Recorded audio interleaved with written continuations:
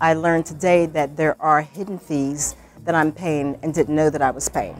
Mutual fund fees I had learned about some time ago, and we have no mutual fund investments simply because I, I just felt they were always so ex expensive, and particularly in the climate, the economic climate that we're in, mutual funds are not making a lot of money.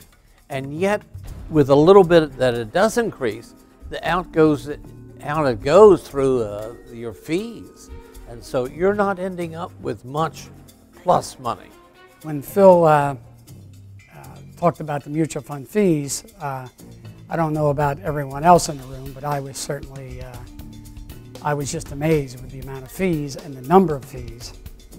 No matter what the, uh, what the name of the fee is, it's just additional fees. You think you pay one fee, but you pay two or three fees, or upfront, front-loaded fees, back-loaded fees, ongoing fees, just fees. I was uh, very surprised. I didn't know of any other investment opportunities that would uh, eliminate the fees.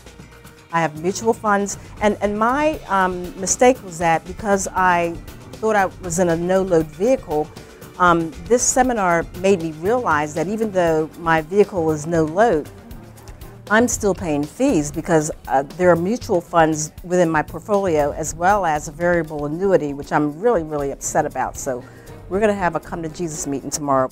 I, I, was I was very glad that, that Phil got into the mutual funds because you really don't know a, a lot of details, the little holes as he mentioned uh, in the mutual fund. You know the percentage that they're making, and I thought what I what was interesting is that that when they're changing mutual funds and they're charging you for that change, and then they start going down, well, they're going to charge you for that as well because they're going to have to get in and see what they can do to put it in a place. So it's like a seesaw. And meanwhile, you're losing and they're still making money in the long haul. And that that's kind of like, you don't like that too much.